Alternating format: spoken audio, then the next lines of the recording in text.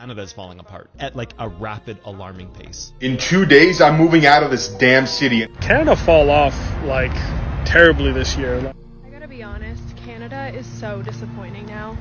It's a completely different place. Desperate refugees who've come to Canada looking for a safe haven are now living on the streets. I want to know how the hell people in Canada are even living. So right now, the place that I'm staying at is more closer to $4,000 a month. Two bedroom apartments are going for 2,900. One bedroom apartments are going for $2,500 a month. This is in Toronto, Mississauga, Hamilton. We're seeing a huge trend and a huge shift in the increase in prices.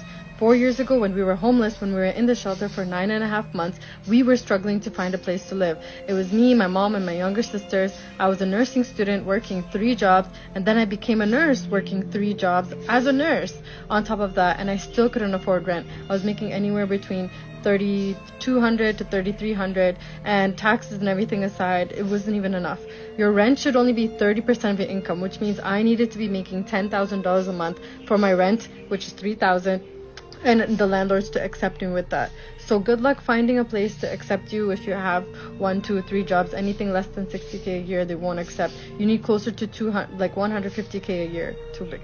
Well, here I am again at the Costco. You can see for $120 this week. Just picking up some stuff, you know. Here we are. Take a good look at those prices, folks. And you see what you get for $120 at Costco in Canada. This is the best deal here ever, anywhere. $7.99 for a fully cooked chicken. I can't even buy a raw chicken of the same size for that price.